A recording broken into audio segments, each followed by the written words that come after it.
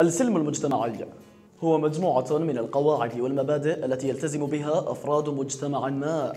وتتضمن الاحترام المتبادل والألفة المشتركة مع وجود اختلاف في وجهات النظر والأفكار والمواقف